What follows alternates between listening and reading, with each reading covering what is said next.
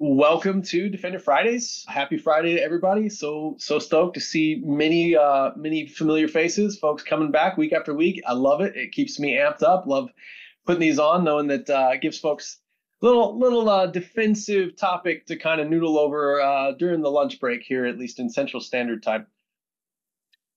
Um, so the uh, the guest today is actually yours truly. Um, I'm going to be uh, popping on to talk a little bit about Velociraptor, which is probably no surprise to anybody that's that's followed me on social media or that's followed my blog.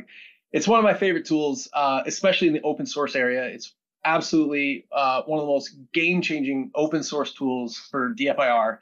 And I don't know anybody that's heard me talk about it before is like, yeah, Eric, I know, I know you love it, but like I, I still talk about it because it's it's crazy to me.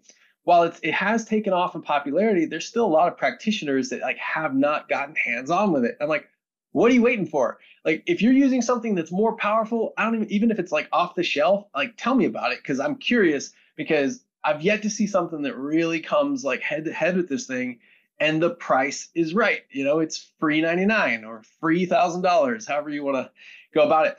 So uh, give me a moment here. I'll get my screen share going so that I can step you all through a little bit of uh, Velociraptor related uh, analysis. We're going to talk specifically today about, hang on, I got to move a couple windows here. We're going to talk specifically about process and network analysis, which is obviously a very fundamental uh, part of analysis during, you know, incident response or even just generic kind of SOC analyst work when you're, you know, trying to get down to ground truth about, you know, an alert that came into this, you know, from the SIEM or in the SOAR. Obviously, the next thing that the analyst generally needs to do is, well, let's go put eyes on that system and try to understand like what's going on, right? Because it's not always going to be this very obvious thing like, oh, well, clearly that's bad, right? This bad thing has happened. No, oftentimes it's like, well, I don't know. I mean, it, it looks like it might be bad, but I need to I need to know more about what's going on in that system. I need to do a little bit deeper dive, and I gotta say, Velociraptor makes uh, really quick work of that. Okay, give me a quick sec here. I'll get this screen shared. All right, hopefully that's coming through clearly for you guys. Let's see. Yeah, can I get a thumbs up or uh, okay, awesome yeah, it's it's kind of funny uh, doing a screen share in Zoom. But um, okay, perfect. Then uh, I'm gonna get this little Zoom bar out of here. Okay, it looks like it went away. Perfect. All right. So what I have here is a uh, a Velociraptor server, if you will, that's also happens to be running on the same system that I'm going to be doing some analysis on, which is kind of a funny way of doing it, right? If you think about it, but it's actually also a really cool and quick way to get an instant Velociraptor instance going um, without having to build or deploy a proper server.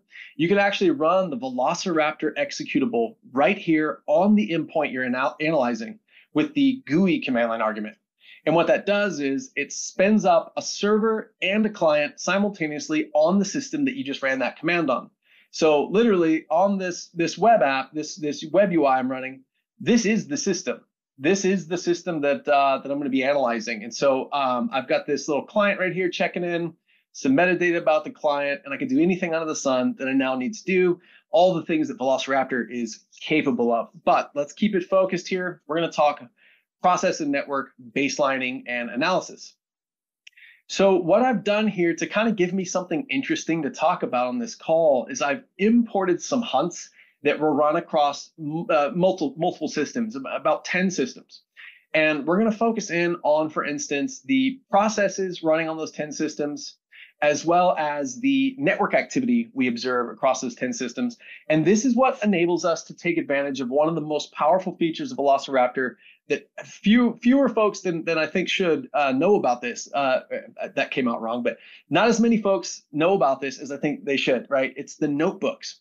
Because if I run a hunt against 10 different systems for even something as simple as tell me, show me all the running processes. Well, I'm going to show you really quickly. If I open up this notebook and get rid of the, the, the default limit of 50, because it's it's limiting only 50 results uh, on that hunt. I want to see how many, first of all, came at, came back from 10 systems. How many running processes? There were 799. Okay, so as anyone knows, right? Like that's a that's an unreasonable size, uh, you know, size of data for me to just like start poking through, thinking I might find something out of the ordinary, right? Thinking I'm just going to randomly find evil.exe, and it's not often going to be that easy. So one of the first things that I want to show you all here is how we're going to use the, the power of the notebook to take this fairly large data set and whittle it down to something much more manageable. So again, just for anybody that's maybe never seen this UI before, I do want to make it clear kind of, you know, where I'm at and what I'm doing. So I'm in the hunt manager screen right now of the Velociraptor web UI. And in the hunt manager, this is where if I were to kick off a hunt across my endpoints to say, get running processes, and I go in here and I specify which artifact I'm going to run. I'm going to run the PS list artifact. When I kick off this hunt over one or 10 or a thousand systems, it then shows up in the hunt manager um, where I can kind of keep track of the status of that hunt, make sure that it completes across all the endpoints. But then once the hunt is complete, that's where I clicked into the notebook here to analyze the results. I want to take a closer look at what came back from all 10, 10 of my machines, show me all those running processes. So I just wanted to make sure everybody kind of knows how did I get here? Uh, do we, is that really Mike Cohen? I just see M Cohen. Uh, Mike, if that's you, you got to tell me. That's the rule. If it is, I'm gonna be stoked that you made it today. Super cool. And so, so yeah, if, if that's the M Cohen, I'm thinking we might actually have uh, Mike Cohen on, who's actually the creator of Velociraptor. So, wow, super cool. Stoked that you could join us. Okay, well now the pressure's on, so I got to be careful to to not say anything dumb. Cool. So we've got the notebook, but I want to clean it up. I want to use the power of the VQL, which is the Velociraptor query language, to, to tidy up this notebook and make it a lot easier to find what I care about as an incident responder or a SOC analyst, right? Let's dig in. So what I'm going to do is I've got a little sample notebook here. I'm going to kind of walk you through what it's doing. Notice all these columns down below. These columns are great, but not all of them are equally important to me, right? So what I'm doing is I'm choosing which columns do I actually want returned in my notebook so I can just kind of get rid of the noise and focus on the things of value. So I do want that process ID. I do want that parent process ID. I want the path to the executable. I want the command line arguments, you name it. Now, this one here is kind of funny, hash.sha256. What I'm doing is you see this hash column right here and how it's actually like crammed to be like really, really, really skinny because it's it's too much data to show on this table. Well, I'm going to kind of help it out by saying I only really want the SHA-256 out of that out of that um, that JSON object. So just grab it and return it as the SHA-256 column. And then I'm going to reach into the Authenticode uh, data, which you can also see contains a lot of data right here. This is all that stuff that we can we can learn from uh, the Authenticode status of that binary such as the code signer, the, the, the certificate metadata, you know, who, who signed the certificate, all that good stuff. Well, generally, there's only one piece of data I care most about from that Authenticode. It's whether or not that binary is trusted. Just tell me if it's trusted, right? I don't care about the rest, at least for now, for a quick pass. And then sure, give me the username. The username that the process is running as, fine, great, got it. So now that we've cleaned up our columns, and I'll just kind of show you really quick what that looks like before I talk about this where clause. You can see like right away, instant difference here, right? Instant difference in kind of how the data is being displayed to me. Way easier to digest this. And folks, that's critical, right? As, a, as an analyst that needs to move fast, I need to I need to be you know I need to be good at kind of cleaning up data to to make it more digestible and manageable. So We've cleaned up our columns. I'm going to put this where column back in, this where clause, right? So what this is effectively doing is this is saying, look, out of all these 799 processes, which I do not want to look at one by one, just show me the ones that are Authenticode, trusted, equals, equals untrusted. Fair enough. Show me the unsigned processes. Now, why does that matter, right? Why why does unsigned process matter to me? Well, um, it, you know, it's it's a bit of a subjective uh, statement, but I'll say this: um, what we're saying is, I probably don't care about digitally signed, trusted binaries because the likelihood of those being malware is extremely low. Not zero, but I'm saying extremely low. And unless you work in an, in an industry vertical that's like, you know, uh, zeroed in on by APTs, it's probably not in your threat model. You know, nobody's going to waste a stolen code signing certificate on commodity malware that just, you know, got mass emailed out. So what I'm getting at is generally um, by just zeroing in on unsigned binaries, we can oftentimes filter out a lot of pos- false positives and just focus in on the things that matter. Um, Eric asked a really good question here. Would a hollowed process show up as trusted? So Eric, the tricky thing about that is if the process was hollowed, depending on the technique that was used to hollow it, right? What we're kind of what we're working out here is from the process environment block. If it's still pointing to the original path of the original process, then it's a it's a good chance that we're going to see that you know the binary, the original binary, is in fact signed. Now, I have not tested this theory. It's a really great question. I have not tested this theory, but I'm not going to. I, I can't say for sure that um, that hollowing the process would be immediately obvious here. But there are several other ways that we can kind of go looking for that. But that's a topic for another day. I appreciate the question.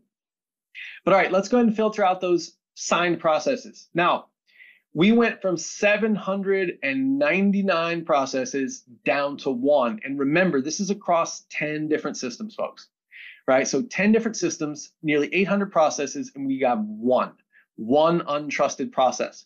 Okay, so what are we thinking? Are we thinking, okay, this is clearly malware? Uh, it's, ne- it's never going to be that easy, right? Uh, because it, the, the rule of, of code signing is that we can generally rely on it as a way of getting rid of legitimate software. Not all legitimate software is digitally signed. And so, but hey, we're one click away. You notice right here in the web GUI, if I click on a, on a data type like an IOC, a hash, or what have you, I get this really helpful context to say, well, sure, let's just find out what Virus Total has to say about that SHA-256. And we're probably going to find out pretty quickly this is a false positive. This is not the thing that we're looking for. But was that still worth doing?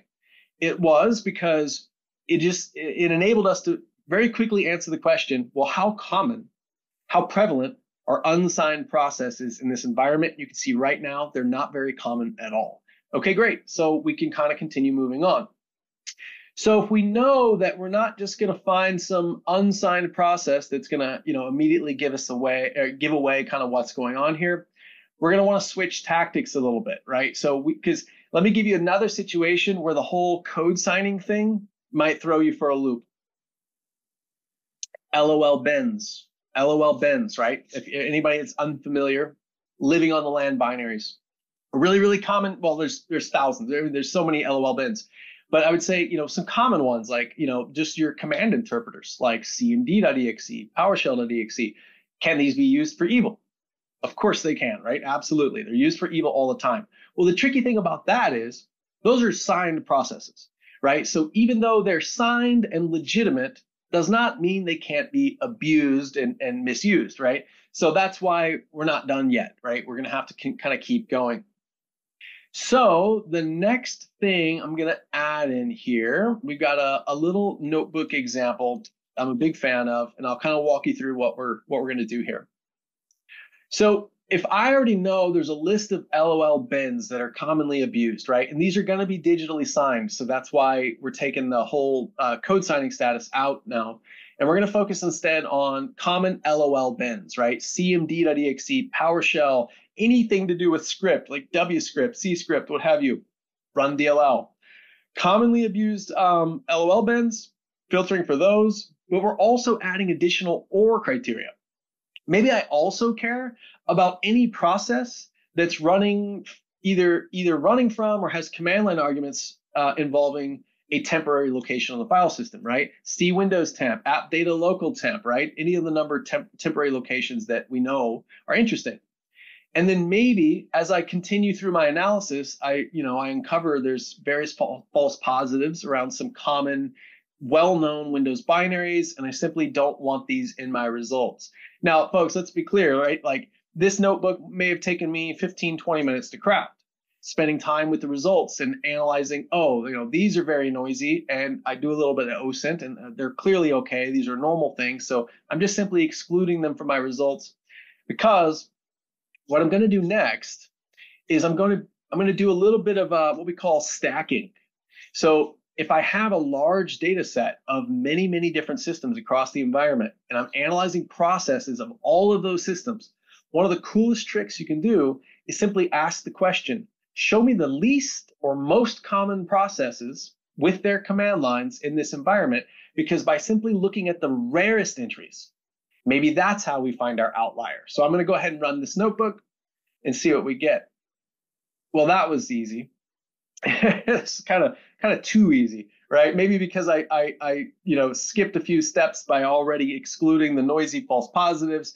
But let's just say there would have been a handful more had I not filtered out these two uh, noisy ones. Oh, it's almost like uh, too easy because we just landed on definitely something worth talking about. Okay, so what do we have? We've got a single process um, with a count of one here um, that met our criteria. And remember, our criteria was any one of the, these commonly abused LOL bins or reference to a temporary location and excluding out these noisier uh, items here. And we have one result to look at. So what's wrong with this picture? We got run DLL 32, right? Now, for anybody unfamiliar with run DLL 32, it does one thing. It has one job.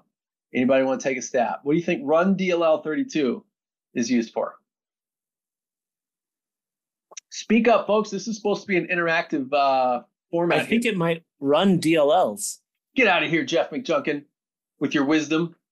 Yes, yes, in fact, run DLL 32's primary purpose is to run DLLs, right? Um, so most often when you see run DLL 32 running on a system, most often, almost always, you will see in the command line arguments the path to a DLL. Okay, great. So we see we see a DLL in the path here, the command line arguments for run DLL 32. But I don't know. I'm not I'm not crazy about this. Anybody have uh, thoughts as to why? What do you think? What do you what's weird? Maybe stands out about this. Temp. Yes, Darren. We got a DLL sitting in a temporary location. Now, okay, maybe that's normal. Who knows, right? Like that could be something. But what I think is interesting about this is remember, we started with nearly 800 process events across 10 different systems, and we came back with a count of one of this instance right here. So whatever this is, it's weird and it's rare, right? And that's like two strikes, right? So I would certainly want to spend a little bit of time understanding maybe what's going on with this DLL, where did it come from? If I can go and, and get my hands on it or grab a hash of it, that's absolutely the next thing I'd be considering doing. But you see, this didn't come up in our previous uh, in our previous query because run DLL32 is a signed process. So it's not going to show up when I'm only looking for unsigned processes. So we have to sort of be uh, mindful of that. Um, let's see, make sure there's a couple questions coming in. Yeah, Jeff, I would 100% agree, right? Um, when kind of looking for suspicious executions or just worthwhile executions, absolutely focusing inside of user profile directories, app data, local, and all those kind of places um, are usually worthwhile. You shoot even just like the downloads directory, right? Because uh, it's not something that happens super common. It's going to happen, but it's generally always at least worth putting eyes on. Um, and then Eric's asking if this is a live search. Okay, so so what we're doing right now, Eric, is actually not live, but we're going to get there, and I better get there quick. Time is moving. Um, what I'm doing right now is I'm looking through basically a, a, historical collection from 10 different systems, but I'm about to shift gears and we're going to do some live stuff now. Okay, so uh, so we might only have time to talk processes today, and that's okay because uh, network stuff is cool, but processes are generally where the most interesting data is. So, all right, I'm going to shift gears here and here real quick, and I'm going to kick off Live Hunt because what we were just looking at was, in fact, uh, historical data, but I want to see what's going on in the system I'm on right now. So we're going to get processes on this machine here that we're currently on, and I'm going to accomplish that with the PS list artifact. Take a peek here. And it's just giving me kind of a preview of this artifact, what the, the raw VQL looks like within. So you can kind of see how it assembles the data set that comes back. It's not just getting a list of running processes it's enriching those with, for instance, the hashes of those process binaries, the Authenticode status, so on and so forth. So super cool. When I go here to configure parameters, I can specify additional options like, do I want to uh, use a regex pattern to only, you know, bring back run DLL 32s or what have you? Nope, I want them all. Um, and I'm going to enable this feature right here, which is going to use the process tracker. We'll talk more about that in a minute. And then defaults here, quick review of our hunt there. We're fine. We're going to launch it and it should execute that right away because I told it to. And that shouldn't take very long at all. It's just a local hunt on the same box. And then when it runs, we're going to take uh, we're to take a quick peek at some of the results we get back here.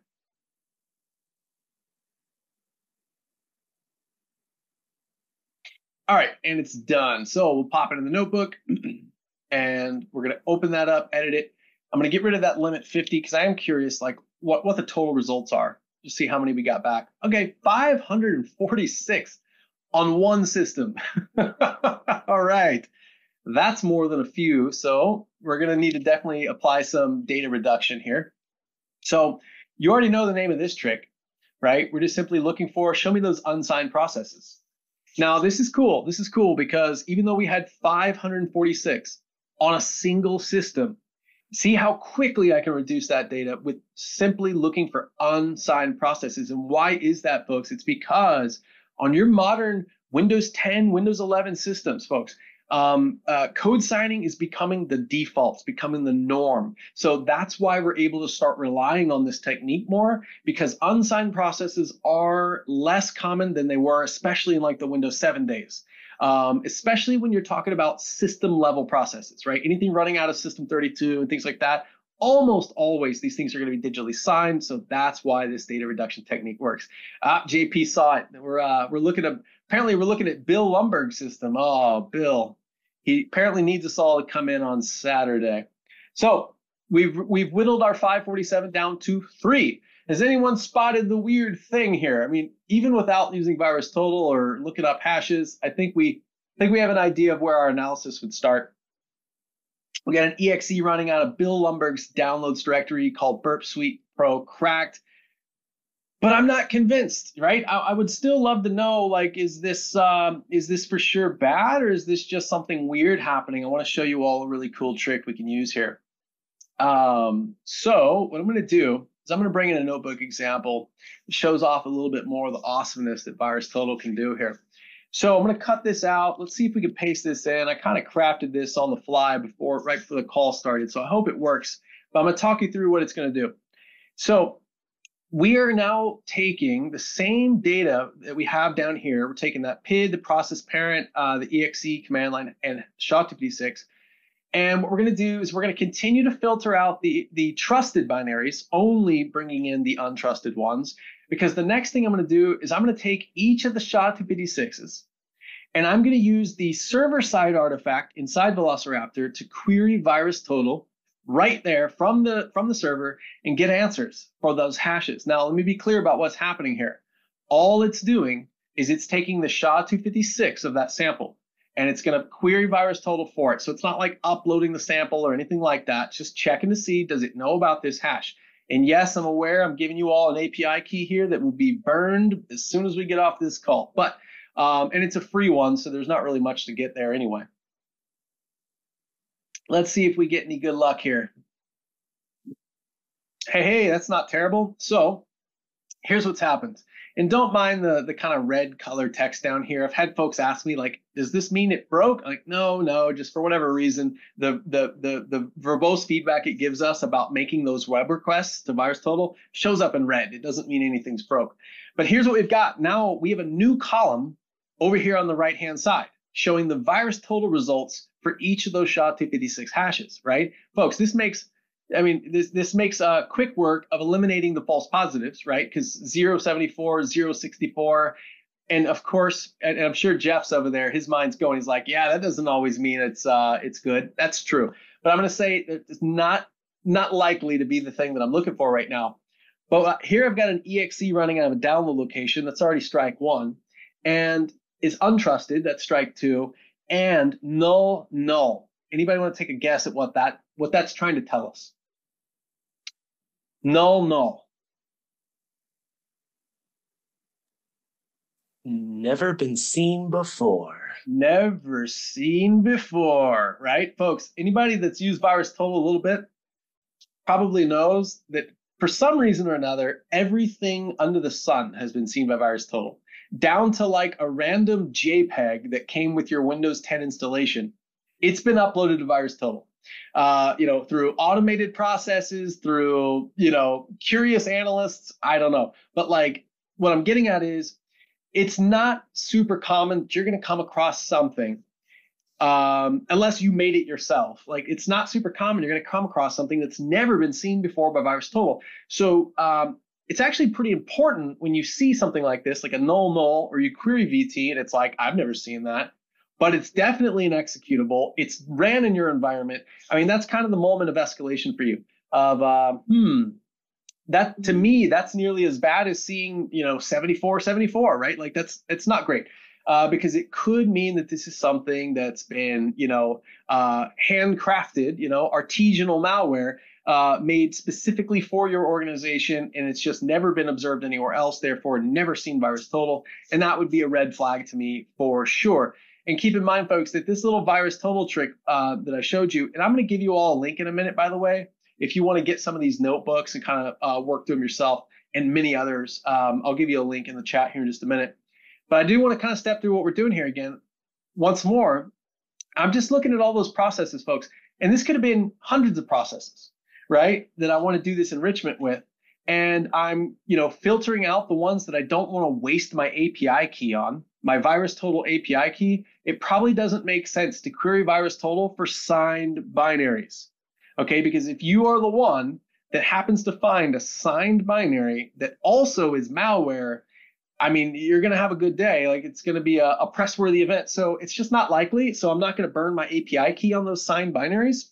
And then I'm also, notice with this statement right here and SHA-256, I'm simply saying I only want results that have a SHA-256 because that's what my API lookup requires. So don't don't try to query virus total for empty values.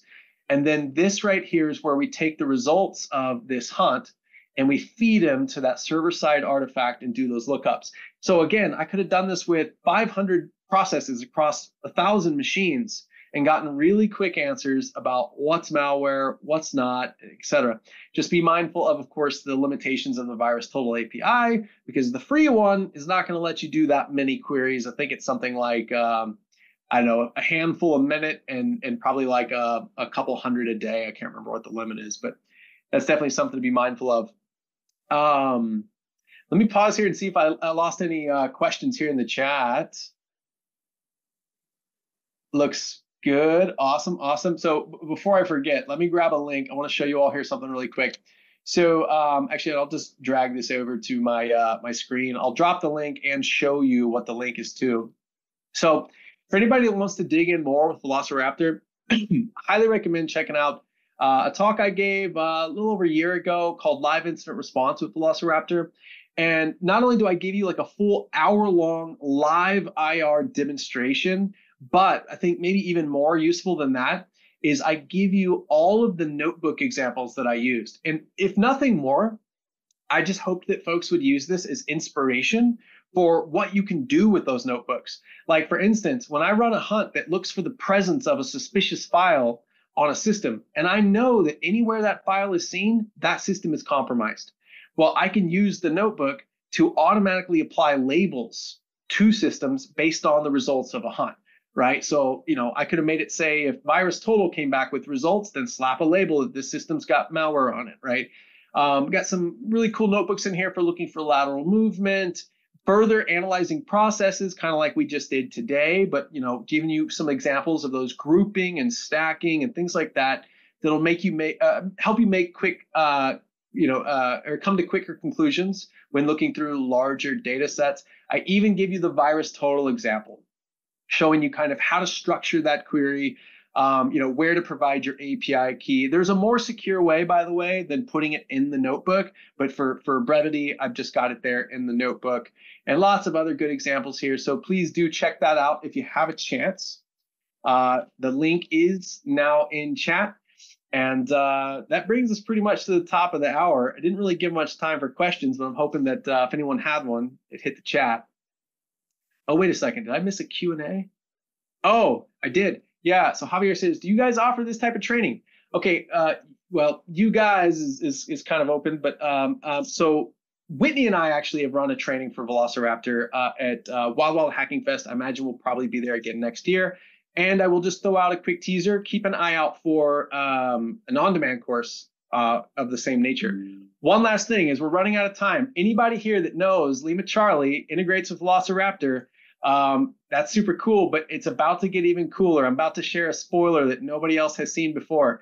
Uh, Whitney is building out the ability to kick off Velociraptor triage acquisitions inside of LimaCharlie that will automatically send the results of those acquisitions, if Zoom would get out of my way, send the results of those acquisitions via uh, using webhooks and API calls into Plaso, into TimeSketch. So literally one click in LimaCharlie kicks off that triage, and you're going to have timelines sitting in TimeSketch, however long it takes to process the evidence later. Fully automated pipeline. Keep an eye out. We're going to have an open source project to drop on you guys probably in the next few weeks.